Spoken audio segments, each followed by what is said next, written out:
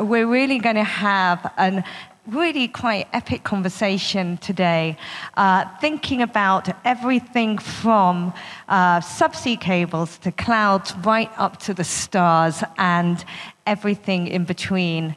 And from we know from whether it was the Viasat hack at the start of Ukraine conference, whether it's subsea cables being cut in Svalbard or accidentally being cut by fishing boats in Somalia or earthquakes in Tonga, that they, we can talk a lot about the technical aspects of cyber, but we have to remember the physical aspects of our infrastructure and how we're working to make those resilient. So I'm going to spend a little bit of time uh, taking extraordinary pleasure to ask some questions that I've always wanted to know from our fantastic uh, panelists here. So joining me uh, in no particular order, we have uh, Towela. Uh, Joa, who's the head of economic integration for the African Union Development Agency. Have Patricia Freimeke, the, the director of global cybersecurity policy at Microsoft. Um, over there, right at the end, we have uh, Giacomo Paoli, the head of security and tech program at Unidir and an author, no less. Um, Manon Leblanc, uh, coordinator for cyber issues at the European External Action Service. So I guess what I'd like to do just to kick off and sort of really quick fire is to ask each of you what is the issue that's foremost in your mind right now when you think about that intersection between seas, cloud, and stars? And uh, can I start with you? Can I put you on the spot? Uh, do you have a mic there? Is there?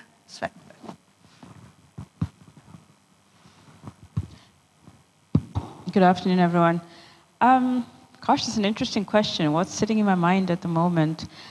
I think I'm always very concerned about um, the fact that I think for, for, for us on this side of the, of the, of the world, um, I think a lot of times things happen to us, you know, so whether it is, as we talk about technology, as we talk about cybersecurity and so on and so forth, I think we're still at that point where we um, perhaps are more reactive than proactive, and, and, and it's, it's, a, it's, a, it's an issue of capacity, it's an issue perhaps of capabilities, um, and the question is then how do we transcend that?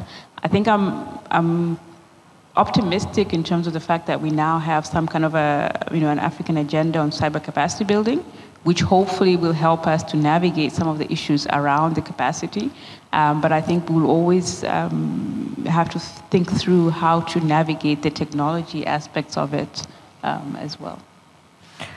Thank you. Okay, so things happen. so how do we make sure we're in place where things happen? Uh, Giacomo, what's uh, top of your mind today when we think about these? Yeah, thank you. Thank you so much for, and good afternoon, uh, all of you.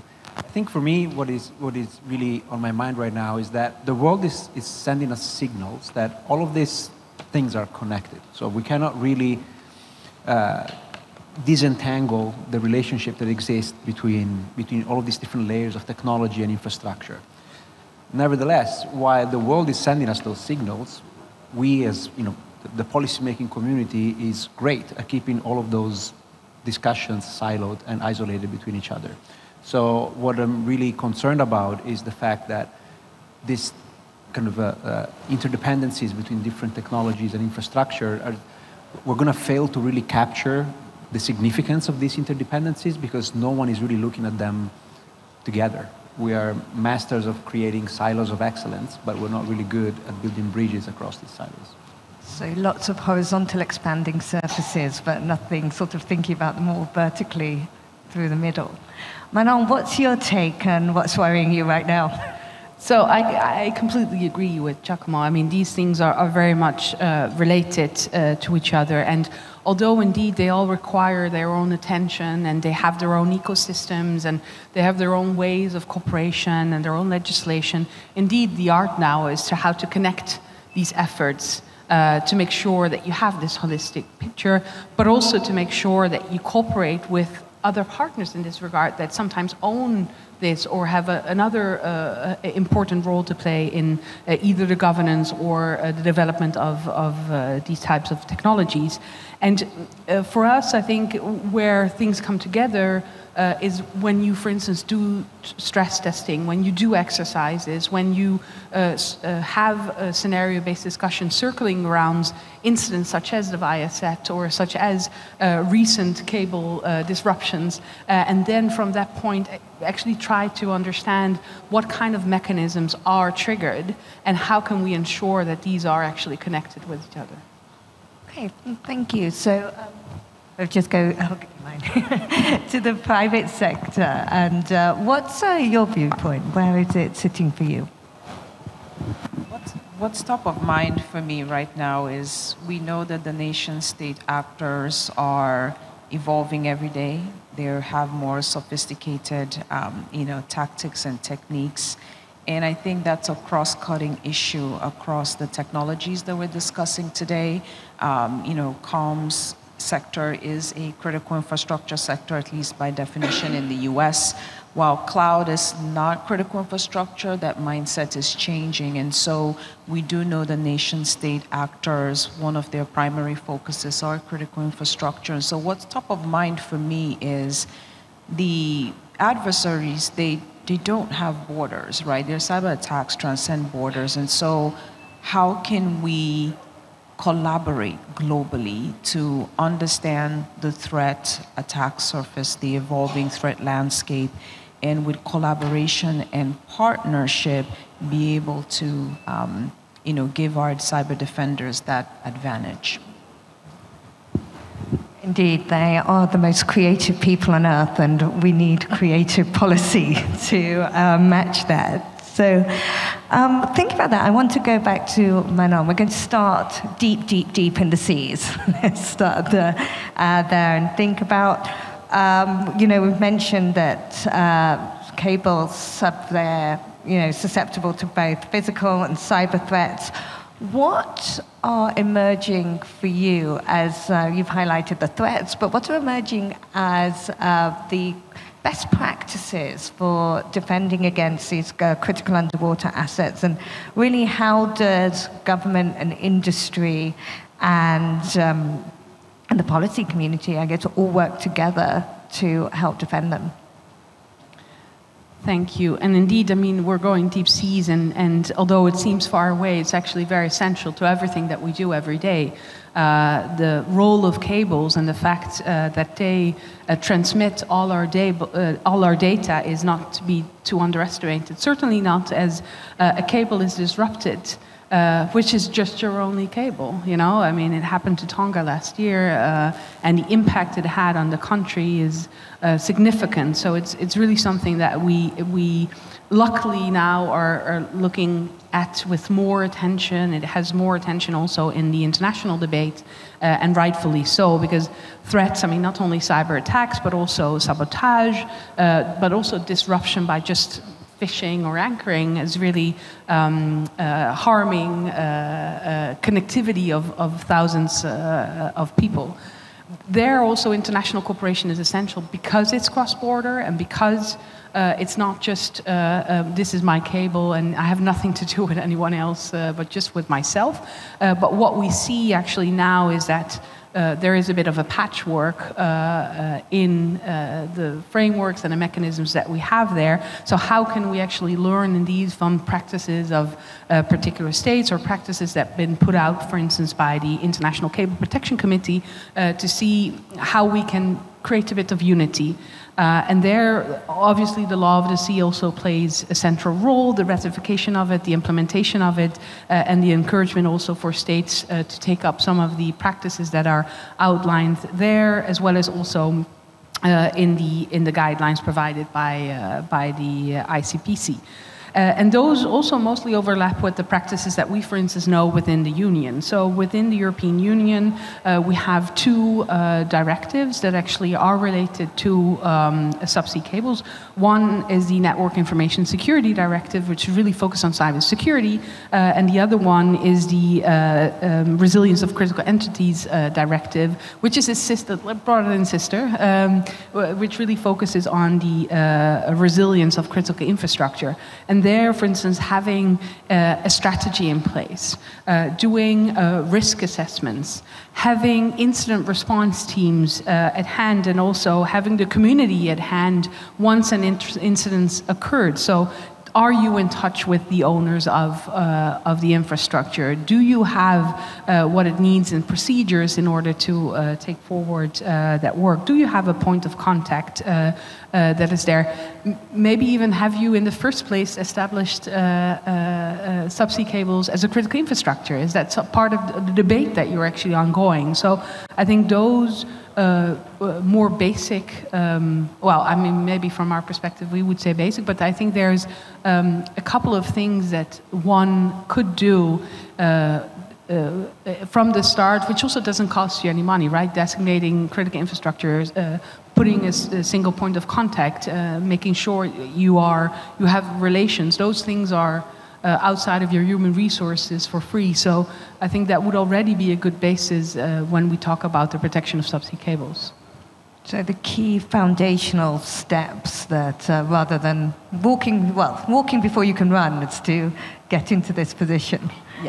Um, well, with that, uh, I want to come for your perspective. I mean, as we load more and more onto these subsea cables with 5G, when we're looking at massive compute resources that are going to be on them, they're going to become even more critical to lower middle income countries. Um, what policies and investments do you believe, um, sort of where development assistance and capacity building are concerned, are needed to really make this shift and sort of its implications for cybersecurity? Okay. So I think, I mean, first of all, if you look at the continent, um, we have more coastal countries than we do um, countries that are inland. So, of course, we know that there's quite a number of countries that either have um, submarine cable landing stations or have the potential or the desire to have them. So, obviously, the issue of how we treat submarine infrastructure then becomes more important. And I think perhaps one thing that maybe the continent needs to think a bit differently about is that this should not only be an issue for the coastal countries, it should be an issue also for the countries inland, because whatever disruptions happen in terms of the infrastructure, um, you know, the submarine infrastructure at the coast has implications for the entire um, continent. I think what we uh, are seeing is that as countries are developing their cybersecurity strategies, they are beginning to recognize, as Manon has said, the fact that the submarine infrastructure needs to be um, categorized or designated as critical infrastructure. But I think what is also then needed um, to accompany that um, then is the, the relevant um, incident response mechanisms, um, and these have to be collaborative, and it has to again be not only about the coastal countries, but about um, the countries that are also benefiting from that infrastructure. Um, I think capacity issues will continue to be a challenge. Um, what we've noticed or what we've seen is that when cable disruptions do happen, it does take a long time for those for, for the repairs to happen. and, and part of what I've heard is that actually I think we only have, um, if I remember correctly, there is only one service provider that actually does all the cable, um, that manages all the um, cable infrastructure, um, you know, east to, to west, uh, which means that when a break does happen, it takes maybe three months um, to repair done effectively. So it means that there needs to be a bit more investment in terms of um, the, the ability to recover. Um, but it also then means that we also have to think about um, some of the measures to protect the infrastructure, whether it's physical measures or measures in terms of um, the relevant protocols that would actually protect um, the, the, the, transmission of data on the, on the infrastructure as well. So it's really thinking about what your backup option is. And this has become increasingly critical as we begin to put our head in the clouds and think about, uh, sorry, I couldn't resist, the, uh, what, the increasing threats to cloud infrastructure. So, Patricia, as we increasingly rely on our cloud services for essential services like e-government, education, sort of e-health, how can all these governments ensure that in un- uninterrupted availability and security, particularly in times like crises, so it, sort of became critical in Ukraine, and what, from your view, is the role of industry and the other stakeholders? Industries provide a backup but that, you know, how long that, can that take and what support does it need from other stakeholders as well? Thank you. Can you hear me? Okay. Um, I'm going to approach um, that question by discussing three things. One the, one, the critical role of foundational cybersecurity uh, practices, um, cloud's resiliency by design, and cloud's reliance on critical infrastructure. Um, so we know right now the stats are showing that 99% of successful cyber attacks could be thwarted if some basic cybersecurity hygiene uh, practices are implemented, like you know patching, threat detection, anti-malware, uh, zero trust, uh, data security, and MFA. Um, we also know that like for example ngos about 15% of ngos actually have cybersecurity personnel as staff and are implementing these types of uh, foundational security practices. And so i bring this up to say that with the hyperscale cloud it makes it easier to implement some of these foundational practices or to abstract the need for the practices. So, for example, with our SaaS solutions, um, it's easier to implement patching, like, well, it, the the cloud service provider takes responsibility for patching and also security capabilities are built in. We microsoft sees about 62 trillion signals a day and so that kind of uh, visibility is added on to our services in terms of evolving uh, uh, threat um, threat information. Now cloud's resiliency by design um, at the core of the way we design or Microsoft designs, um, you know, cloud services, redundancy and resiliency is built in. And so I'm going to start by discussing just a little bit about data center resiliency, just to level set there. This can be a several hours conversation to actually go through the whole process, but just want to touch a few key points there. Um, the, the cloud service provider's responsibility is building these things, right, to be resilient by design and building in redundancy. One of the far, first places that we start was with the supply chain risk management, right? Building a data center is a complex process in terms of it deals with a lot of different suppliers, vendors, and so using uh, best practices for supply chain risk management to avoid tampering um, or altering of components that are being put into the uh, data center. Um, Microsoft also uses a defense in depth process in safeguarding its data centers and doing annual risk assessments that factor in different internal, external, and environmental type uh, threats and factors. And just to give you some examples of what that means as an outcome is, for example, power. It takes quite a bit of power, right, to power a data center and keep it at a specific temperature.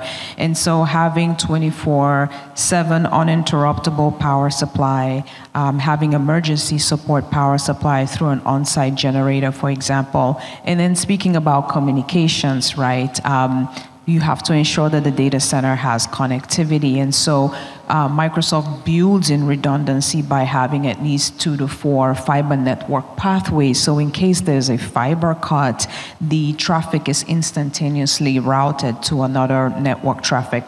And then just to quickly touch on data and network resiliency, right? Global dispersion um, of is, is core to redundancy, and you, you brought up Ukraine as an example, right? We know that the ability of Ukraine to be able to disperse its assets and, and systems into cloud and another nation was, was very key. And that would lead me to one of my, my final recommendations around being able to, to have uh, that capability to do so. And so, what I want to leave, you asked a question around what the responsibilities are for the stakeholders, is that you know, while cloud service providers commit to building, you know, their data centers, infrastructure, network architecture to be resilient by design, it is a shared responsibility with a customer to have the resiliency in place. And so what do I mean by this? You as a government or an organization know your business best, right? You know what your business resilience thresholds are. You know what kinds of data you have, where the data is, what are your crown jewels. So these types of requirements and conversation is what informs what resiliency means to you. And I realize we never defined resiliency, and so by resiliency I mean an organization's ability to recover quickly in the event of some kind of disruption, but still be able to accelerate growth, right? That things don't ground to a standstill. And so having that conversation and, and remembering that technology is a business enabler. What are your business requirements? What are your security objectives? And just asking questions like how much downtime can I tolerate? That actually informs where your data is replicated and what kinds of redundancy. And then my last point that I want to make about cloud's reliance on critical infrastructure. I think that traditionally this is an area that governments have not really played in, and so um, I, I, would recommend that this is an area that's explored. Like I mentioned, it takes quite a bit of power and water um, to keep a data center running, and so governments could play in this space by helping to ensure that there is the transmission capacity to do so. And I'll give you a very brief example. There's a region in Virginia right now in the US where no one can build any data centers because the electricity transmission capacity just does not exist. So this is a potential area that governments could play in and the other recommendation, again, going back to Ukraine, um, just making sure that you have policies that can allow, you know, a country to quickly disperse its data and assets, you know, to uh, a region in another another country, and so being able to allow the uh, uh, free flow of cross-border data flows. And um, I will stop there. Perfect. Thank you uh, so much. And, and yeah, the, I, the, definition of resilient, I mean, my personal favorite is David Koh from Singapore, who says it's resilience is like being an escalator instead of an elevator, that you can walk up the stairs if everything comes to a standstill and you're not stuck in an elevator. Um, but so going up in an elevator all the way up to the skies to what is only the beginning now at the final frontier, I think. Uh, let's, uh, Giacomo, think about. Um, the development of LEOs, of uh, low Earth orbit satellites, is growing exponentially. Uh, what policies do you think need to be put in place to ensure the security and resilience of the systems, and particularly as they're becoming as uh, either reliance as the sole point of access in some cases, or as the backup points of access uh, for our communication system? Yeah, thank you for the question. I'm actually going to start by saying that I'm totally going to reuse that resiliency definition of uh, escalators and elevators. Uh, and I also want to double down on, on something that Patricia just said about the importance of being prepared also from a policy and regulatory perspective. You cannot wait until there is an emergency and you need to transfer data or transfer information and before you realize that you actually are not allowed because your national laws or regulations prohibit you to do that. So sometimes when we think about preparedness, we tend to focus more on the technical side, which is important, but we should not underestimate the importance of regulatory preparedness as well. That aside, uh, coming to your question, I think that if we could do a time lapse that allowed us to monitor how the number and type of actors that have space-based assets has evolved in the last 70 years, we would see not only the increasing number, but also how the different mix between uh, state and commercial users are now, uh, you know, owning and managing space-based assets. So not only that, but are also offering space-based service, services as, as a service. So, you know, uh, until a few years ago, certain Uh, uh, services that were enabled by space-based assets could only be accessed by those that owned and managed those space-based assets. Now you can purchase them, whether it's imagery, communication, navigation, those things are become, there is a market for those things. So all that to say that I cannot exclude a priori that we may need new policies and new, new regulations. However, I think that before we go there, because there is always the risk that by focusing on the things that we don't have, we distract ourselves from the obligations that we've already committed to. And we put too much emphasis on what new things needs to be developed to kind of distract perhaps the audience, perhaps uh, other states from the obligations that we've already made. So, and, th and that's why I'm saying that before we think about new regulations, it is important to realize that our space is already, there's already a robust legal and normative framework that uh, somewhat shapes behavior uh, in, in outer space. There is an outer space treaty uh, that was signed in you know, 1967, so it's almost 70 years, but it's there, it exists. And the Outer Space Treaty already prohibits the use of force and the threat of use of force against space systems and also establishes mechanisms to avoid harmful interference of space services. In addition, if that wasn't enough, there is also a, a, registration convention that was established about 10 years after that really establishes obligations to register space objects both at the national and international level. So if states were already uh, implementing uh, and following through the commitments they already have, our ability to verify and monitor behavior in, in outer space would increasingly would increase, would increase significantly, which I think it's, it's important.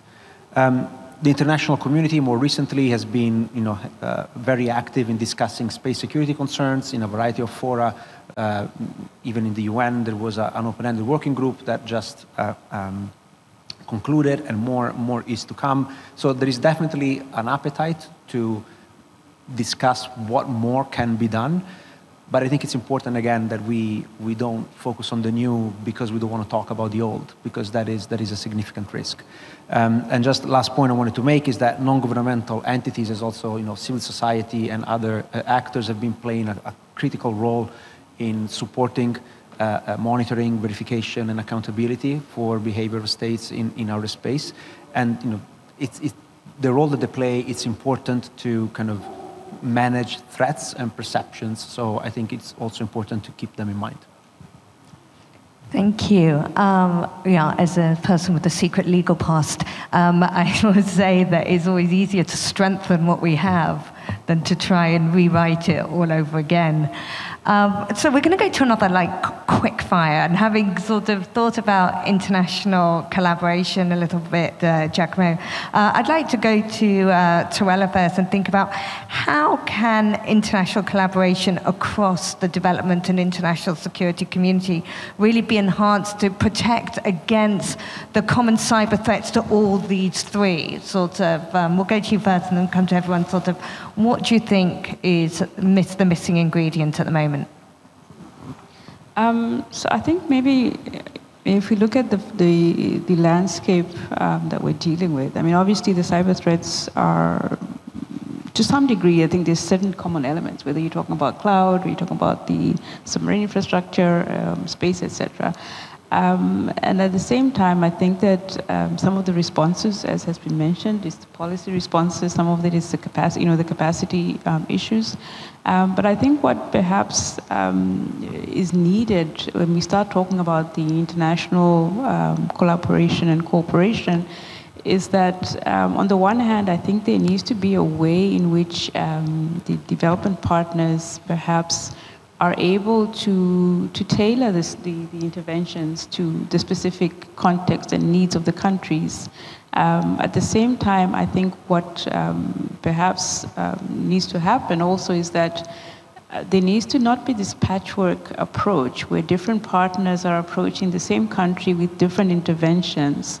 Um, and maybe there needs to be a way of seeing how do partners actually work together with the countries um, as opposed to you know one country having to deal with 10 partners on the same issue and each partner has only a very specific interest that maybe does not holistically look um, at what the, the, the deficiencies and the challenges and what the actual interventions um, are needed um, in the countries. Um, on the other hand, um, I think what we also find um, perhaps that um, our member states maybe need to, to deal with and think about a little more um, is, you know, when, when Manon talked about the fact that the EU has directives, and when the EU issues directives, countries have to comply with those directives.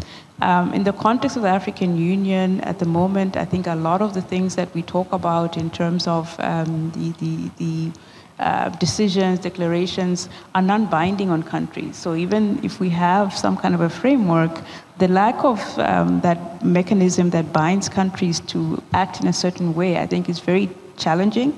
And when we talk about cybersecurity, I think it becomes even more of a problem because you, you really cannot, I think, afford to be in a situation where countries can opt in or opt out of certain measures. So the question is, how do we address that? How do we uh, make sure that we see the seriousness of, of cybersecurity, its impact on our communities, its impact on our ability to, um, to engage in meaningful and impactful trade with the rest of the world, and really uh, maybe rethink and revisit the way in which we are actually approaching um, cybersecurity on the continent.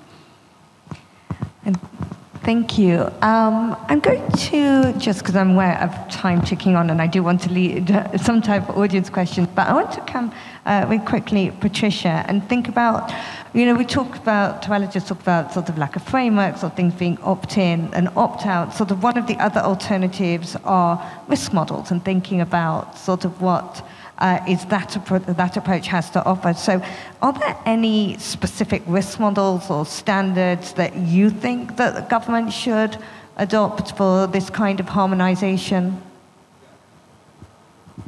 Thank you for that question.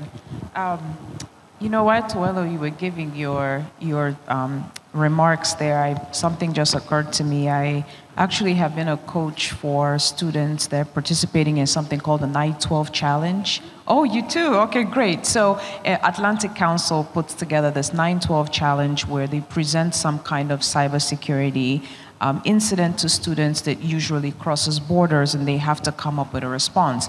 And one of the eye openers for me coaching uh, the students um, early this year is that one, you know, in the US, the National Cyber Incident Response Plan was pretty outdated, but they have they are now revising it and then also that there wasn't a specific framework, like something that I could pick up and say, okay, this is the framework that the globe works with together in case of this kind of cyber incident that involves different geographic areas. So I just wanted to just mention that, that in terms of a, a framework, I, I do think we do need to have some kind of framework that addresses crisis management. And then switching over to the question around um, standards, you know, a lot of these regulations are, I mean, in cybersecurity today, there's regulations left, right, and, and center. There's regulations coming out of everywhere, right? And at the heart of these cybersecurity regulations, right, there are actual safeguards that the folks, either the governments or the organizations that are implementing these new rules and regulations, they have to put in certain safeguards. And how do you know what safeguards to implement? That's when you start to look to your technical standards, right? And so when policymakers are developing regulations, I, I think that it's very good for them. I recommend that they leverage cybersecurity standards that are one, international, two, that they're risk based, and three, that they're consensus based. And so just to give an example, the ISO IEC um, they're working groups that develop a, a, very wide variety of standards, and they have one, for example, for um, information system controls for cloud services, for example. And they have representatives of those working groups from different countries. So there's that multi stakeholder approach, and not just a multi stakeholder approach, it's a global multi stakeholder approach, right? They're also consensus based, which means that there's agreement and that it's been vetted. And last but not least, they're risk based. I think we've kind of discussed a lot of things here, and you can't protect everything at the same level, and so you have to approach things with a risk-based approach. And so I, I do think that policymakers can leverage these types of international risk-based cybersecurity standards, which a lot of times also include the physical aspects as well of security. Um, the other example that I would I would bring up is the NIST cybersecurity framework, and I know that sometimes there's a perception that it is an American best practice, it's not international, but it it actually is international and is risk-based. And what I think it's done very well, it's, it has provided a common language for us to discuss cybersecurity. I think that's so important when we're driving towards global coordination, global co- collaboration. But how can we achieve those things if we're all speaking about cybersecurity in very different ways? And so leveraging these types of standards allow for not only having a common language or a common criterion or having that multi-stakeholder kind of approach, it also drives innovation, right? Because supply chain risk, uh, the supply chain is very complex. Again, it transcends borders. And so having a way to discuss technical requirements for cybersecurity risk management and cyber resilience uh, across borders drives innovation um, and allows that interoperability, right, between uh, different types of stakeholders. And so the last point I also want to make is the idea of leveraging these standards is not to just take them as is and not do anything else with them. You know, policymakers can actually build on these standards to, for example, address sectoral concerns. So I'll give an example through public-private partnership um, in the U.S., the financial sector there, they took the NIST cybersecurity framework and they said, how would we approach cybersecurity risk management in the financial services context? And they created this kind of you know um, security framework for themselves based on this cybersecurity framework. And now what they've done is they've added a cloud piece to it and said for financial services institutions that are deploying workloads in the cloud, what does that look like and how do you properly manage cybersecurity risk management? And so the flexibility that these standards offer policymakers to either address national concerns or critical infrastructure concerns, sectoral concerns, or even to specific technologies like cloud or like right now we have, we're discussing a lot of things around, you know, AI and IoT and, and also the alignment to other controls that could be regional or specific kind of threats. So I know, for example, the NIST cybersecurity framework has been used to address, for example, ransomware. And so, um, yes, they are standards that could be leveraged. Let's not duplicate things that are already out there. But when the gaps are realized after doing this sort of kind of inventory sift, then we we develop new requirements that can close those gaps.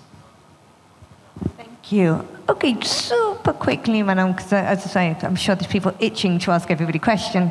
But thinking about standards, and we've had the sort of Brussels effect alluded to a little bit.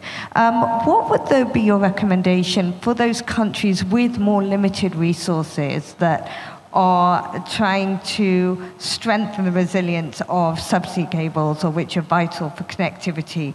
Sort of from the view, from your view, sort of you know the low cost, high impact kind of uh, position there. Well, I think we, you know, this is typically uh, a, a, topic, and it's typically an area where we really need to work together. So, indeed, there are things that uh, countries can do which have, for instance, a low redundancy or which do not have the uh, legislation in, in, place, which have also, location wise, maybe are in a difficult spot. Uh, so, as said before, I mean, there are indeed recommendations and, and, baseline things that you can do uh, around critical infrastructure designation, around uh, uh, creating your network around establishing a point of contact. But I think, moreover, uh, it's also to the international community state and to see how can we advance uh, the overall overall global framework to then support uh, such states in uh, in advancing the resilience of their critical infrastructure and, in particular, then that cable around. I mean, that starts with something that also Patricia said before: the responsibility that if you put down a cable, that you already look at security by design. You know, like that you start with making it uh, as resilient as possible, uh, as secure as possible, uh, and also, for instance, the investments that we do in cables uh, as EU through the Global Gateway, that is really some a criteria for that to be uh, put in place. Uh, at the same time, when you see uh, the recommendations coming out of the ICPC, the uh, Cable Committee, but also if you see the recommendations or the um, uh, legislative requirements, both when it comes to the law of the sea or when it comes to the norms of responsible state behavior in cyberspace, which address uh, the protection of critical infrastructure as well. Uh, the, they all bear responsibilities for everyone to uh, to make sure that that infrastructure, which is a, a global good, is protected and is, is resilient. Um, of course, there we need to work together with other partners. We have, need to have a good understanding of what is the need uh, of uh, countries which are, are less um, uh, less advanced in this uh, field. Uh, so I think this is really a joint effort, and we, you know, of course, everyone has to play his part, and the part of countries which are less advanced really start with. Uh, some of these baseline activities that I also referred to in my first in intervention. Uh, I think in the end, uh, and it's something that I wanted to pick up on on what uh, Giacomo said, and also like what is missing. I think we have already quite a lot. We need to make sure that we apply it, and we need to make sure that we adhere to it. Uh, and there, what is sometimes missing is the implementation. We're always running to the next legislation uh, because it doesn't work. So we need something new. Sometimes it doesn't work for political reasons, uh, but that's uh, you know that's a, a matter of uh, particular countries in place. But we need to ensure that what we agree with each other at the United Nations levels that we implement it and that we build our frameworks around it and one example, for instance, from the United Nations First Committee uh, discussions on cyber is that we have uh, agreed with each other uh, international law applies. We have norms of responsible state behavior that also include uh, protection of critical infrastructure, as well as also uh, uh, norms that will help us to engage and cooperate with each other. Yet there are some states who just do not abide by it and who just ignore it okay, how, much, how many new rules do we then need if rules are not helping uh, for us to uh, do, uh, do the work that we need to do to enhance resilience? So, in the end, um, it is our joint responsibility uh, in that sense, both uh, developed as well as less developed countries, to cooperate uh, when it comes to these essential infrastructures, which are essential to all of us. Thank you so much. And uh, not to forget Giacomo, um, I just want to very quickly, um, you touched on a wider group of stakeholders, and I just wanted to get your thoughts on what about um, academia and civil society, and where do they sit within this picture for you? Yeah, absolutely, and I, I promise I'll be very quick. Um, I think that academia and civil society play two critical roles in this. Um, one, I, I, see them as, as knowledge brokers and knowledge providers, whether it's by generating new knowledge or by facilitating the transfer of knowledge between different countries, those that are more advanced and those that are still in the process of building up their capabilities. I think it's key. Um, providing or encouraging a common understanding of key concepts and definitions. I'm just going to give you a very quick example. In, in my own language, in Italian, the word safety and security are one.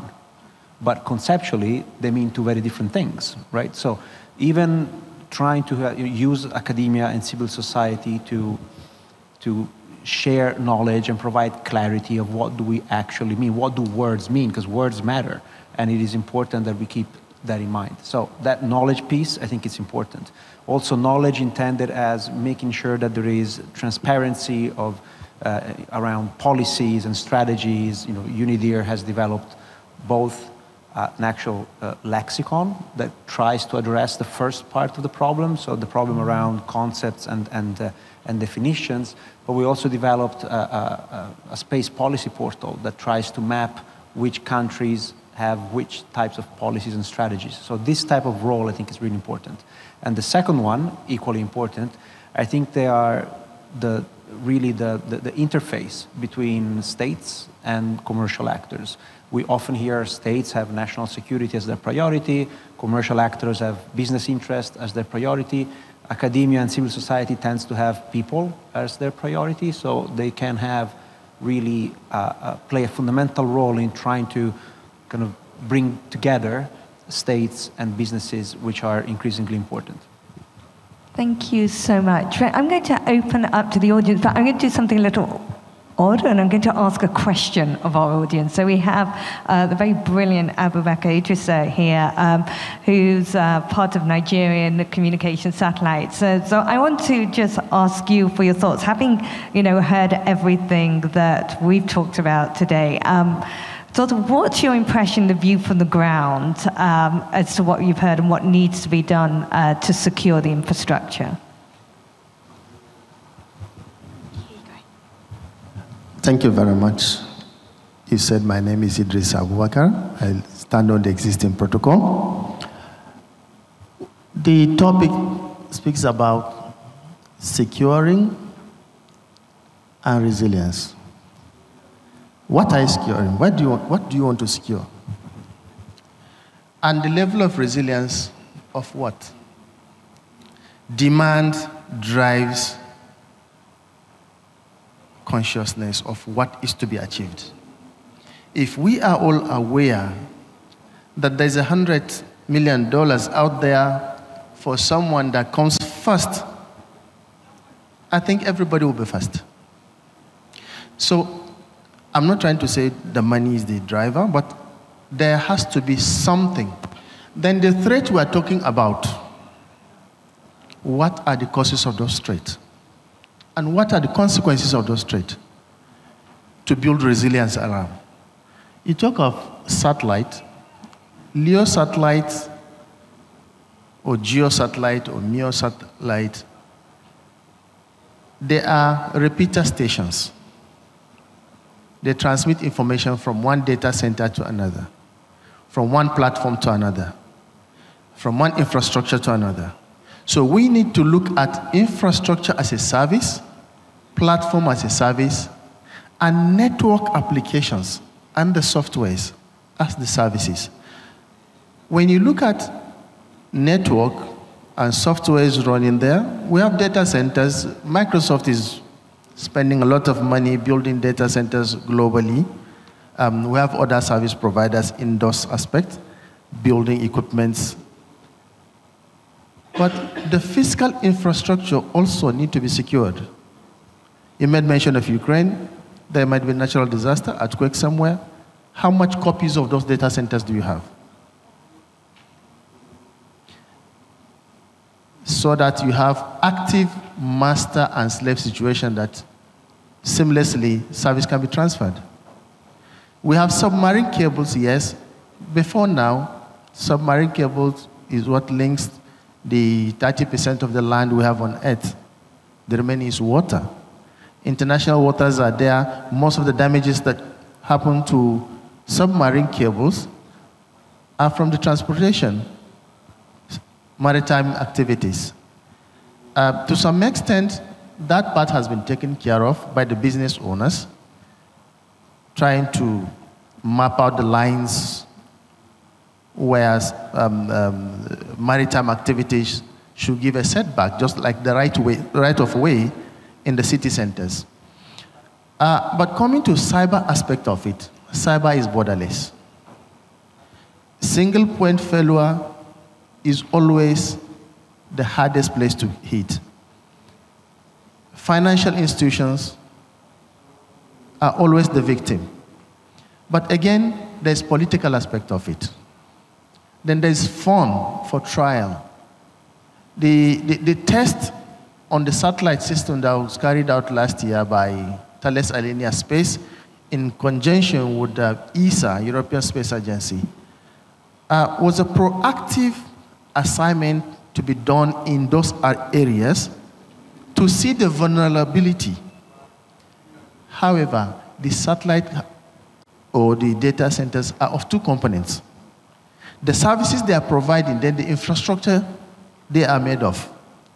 In the case of satellite, you have the platform that support the activities of the payload, which the payload can be um, RF equipment if it is for communications, or camera system for remote sensing and weather activities those platforms are difficult actually to be attacked in the cyber world. If it happens, then it must be from inside because it's always not on the network, it's not on cloud network, it's not connected. But the services running on them are open interface, which in the submarine world, you have the VSATs on ships and everywhere on the land in the desert. They are there in the forest you have those equipments that are carrying IP equipment, IP content, which is the cyber wall. Now, if my system is open, your system is closed because the whole globe is networked by switches and routers, and I'm transacting business with you, you're not actually safe. That's why global assignment need to come in. Global networking need to come in. But that resilience, how much can you bounce back? How quickly can you recover from the disaster, from the attack? The analysis of those attacks, the prevention of those attacks, how quickly can you do it? No one does it alone because we don't have the same time zone. If attacks come from Ghana against infrastructure in the US, you can disrupt their power system or disrupt the sewage system in China for two seconds, the whole world will hear the problem. Or if you disrupt water flow in India with a population of 1.4 billion, I cannot imagine the disaster or catastrophe that is going to happen. So that's if one person is protected and the other is open, the cyber hacker, ethically or unethical one, can use that same point to get to the other side because it's borderless. So the partners, the sponsors of this program, especially the World Bank and the World Economic Forum, perhaps need to speak to the governments because the policy direction has to come from government and even if it is advisory, government of all nations listen to these two bodies. Then cyber, Uh, uh, uh, global cyber conference or cyber movement building capacity will now come in. Because if you want to build capacity for what? But when they identify the problem, the capacity will work. Thank you. Thank you so much, and thank you for that viewpoint. Um, I now, because aware of time, do we have any questions out there? Lady over there. Thank you very much. Uh, Leila Decker, I work for Géant. Uh, I have a question for you because you've discussed the importance of the safe, well, securing the infrastructure. Throughout the week, we've discussed a lot the idea that the community needs to, to work together, knowledge should be exchanged. But I have a question for the emerging countries where even just a simple router is quite expensive. How do we ensure that they have the sufficient basic infrastructure to participate in this global effort? Thank you. Thank you so much. Um, anybody want to jump in there? Voilà, Manon.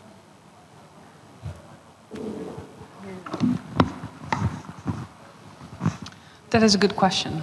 Um, and uh, uh, it's a question that uh, is not easily solved. Uh, because indeed, governments are making investments in the infrastructure of third states, and you have uh, investment banks, you have all kinds of types of investments, uh, and still we are at a point that that needs to be made sustainable. Uh, so here also the private sector comes in, uh, not only the big tech, but also local private sector, so to say, uh, and that is in some places also still in development. Uh, so this is a, a, a complex, uh, also chronologically a complex issue to, to be solved. Yet at the same time, by investing through aid through global um, investments such as an RN, for instance, the Gateway, uh, uh, or through investment banks, the idea is that we use that investment not only to lay down the infrastructure, but also to create a sustainable environment where that infrastructure can continue to grow and where a country uh, is also simultaneously building its capacity and building its ecosystem uh, for that infrastructure to continue to be built. So it's a, it's a slow process. Uh, but it's something that needs to uh, continue to have our attention. And frankly, it's a it's a debate that we've I've had uh, for for many uh, hours actually already at that conference. Like, how can we actually simulate that? What kind of additional mechanisms do we have in place uh, in order to to ensure? Uh, we just had a panel about AI where we had a similar question. So it's definitely also something that I will take home uh, to see uh, what more we can think of to to address this issue. Perfect. Do we have any more questions? We have not a lot of time, so it'll have to be a quick one. And if I don't end on time, I'll get in trouble and they won't ever invite me back again. yes, uh, hello, I'm Mark uh, a colleague of, well, uh, from RedCLARA, from uh, Research and Education Network in Latin America. Precisely uh, on, on those points that were tackled uh, both by the gentleman and by uh, Manon and uh, also uh, Leila. Uh, how do we re reconcile the, these, these times and the complexity of the process that uh, we all understand that it, it is heavy in a heavy workload as such, but with precisely the, the urgent needs that are there uh, pending uh, in, in, the context, in the international context, in, and the pressure that is coming with these, uh, uh let's say, uh, uh, big challenges. No, in, you, well, I, I, don't have to, to make any, any picture, I, I, guess, but you, you, we all understand climate change, etc., wars, etc., and with some stakeholders in, in, in the landscape that are acting maybe faster than others, and, but with some impeding maybe challenges connected to, to, these, uh, to these kind of actions. No? I'm not, uh, thank you. Yeah. Um, it's, uh, I have a couple of thoughts, but I'm happy to jump in the middle. Uh, maybe just to say that this is also a market issue. Yeah. I mean, this is not a, a government. Uh, I mean, depending on which country you live, I would say, but uh, in general, this is also uh, a, a, market issue. So uh, governments are involved, uh, have a role to play, but this is not just uh, the governments. This is a, a multi-stakeholder issue that we need to solve uh, in, in cooperation. So unless you live in China, and then it's a government issue. The one thing I will say is, so at the Institute, we're about to launch a Future of Access to Compute Index, and part of that, we've looked at 55 countries across 25 indicators, and part of it, there's a data explorer that will come out. And what the aim of that is really to look at is when going to your question and sort of look about what is the investment that will deliver maximum like impact within what you're trying to build. Power comes out as a big one at the baseline that some countries invest in a supercomputer because they want to be on a list of supercomputers, but without the power infrastructure to do it. To begin to think about how you sequence your both your policy and your tangible investment into this process on a wider picture is uh, part of that. So um, that's um, where we're at. Um, but just to answer a bit of that question, to provide those structures that countries can visualize what their pathway is. So before we wrap up, very, very, very quickly, we started the session thinking about what worries you now. On a super quick fire, what's worrying you for the future? On uh, thinking whether it's the subsea cables, whether it's the cloud, whether it's uh, the satellites, or whether it's at the intersection of the, all three. Um, what do you think we'll be discussing in Switzerland in 2025? Okay, I'll, I'll, start again. I always get to start for this. Okay. Um, I, I, think that the two things that I'm not necessarily worried, but I will keep a close eye in terms of how it's going to evolve, is how this uh, relationship between states and non-state actors, commercial entities, etc., is gonna is gonna play out. I think everyone recognizes that these are not problems that states can solve alone. We need private sector. We need you know infrastructure managers and owners and developers um, but on one side, that recognition isn't necessarily matched with the processes that allow for a, a truly inclusive dialogue and debate. So I'm curious to see how that is going to progress. Um, exactly. Giacomo took the, you have the luck to be first. no. So indeed, I think the evolving threats and certainly also non-state actors and their role, uh, also how they are sometimes used by state actors, I think that is uh, a headache that is uh, already keeping me awake, but will continue to keep me awake. But I think also we will continue to discuss uh, the, the cooperation within the multi-stakeholder community, how to shape that and how to uh, actually take that forward to address some of the challenges. I mean, we spoke just about uh, the investment. I mean, investing in universities, academic community, investing in private sector, and like how do we how do we do that in a meaningful way, uh, in a way that is also um, uh, susceptible or it's also uh, tailored to to those who are uh, requiring it, you know, on a needs base. So that is something that we will continue to discuss and that we need to develop solutions for that we might not have today. For me, it's um, probably the fact that I think cybersecurity is a moving target, um, and, then the question is, you know, will we ever will we ever get there? I think one of the things that we have to worry about now is the fact that everything is digital, everything is digitalized, everything depends on connectivity, which means that there's more things to think about, more things to protect, more things to, to really think about in terms of um, their interconnectedness. When you look at where we are now in terms of the energy supply, as you mentioned, um, a, a big issue in terms of the ambitions as far as digital transformation is concerned, but also a big issue in terms of as we start to um, build more power plants, generate more you know, electricity, again, that's critical infrastructure that has to be protected. So it just seems to me that the more we do, the more there is um, that needs to be done. This is hard going last because all the good points are taken. Um, I, I, do want to flag sort of the role in AI in this conversation. We had an AI panel right before this panel, and um, I think it was flagged that ChatGPT just came out a year ago, and it sounds like it's always been here and it's moved at a very quick pace.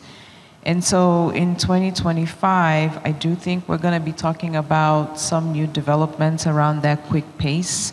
And my hope is that we will be discussing how AI is giving cyber defenders an asymmetric advantage into gathering better threat intelligence and information gathering and being able to you know, arm us better on the cybersecurity front in being able to track some of these nation state um, actors targeting critical infrastructure. And I think a lot of the things that we talked about today, including, you know, global cooperation, frameworks, collaboration, to some degree, they do feel like a moving target. I think we're still going to be discussing them there, but my hope is that we will not be discussing them from the starting place that we're, we're at now, that we're going to be discussing the developments towards, um, you know, leveraging technology for transforming the human condition and human potential. All right. Thank you very much. And I guess the only advantage of expanding threat services is that we will be here in two years' time having this discussion and not out of a job, even with ChatGPT, um, hopefully using it to make us quicker and faster at what we're at. Um, I want to thank all my panelists for an extraordinary, insightful conversation. I have a million more questions, but uh, they will have to wait. Thank you for everyone who joined us and stuck through a million sessions and um, have a great closing to the conference. And uh, thank you also to Elizabeth. We have to thank Elizabeth Eigner, who convened this panel, and Camino Kavanagh, who couldn't make it today. But uh, thank you, everybody.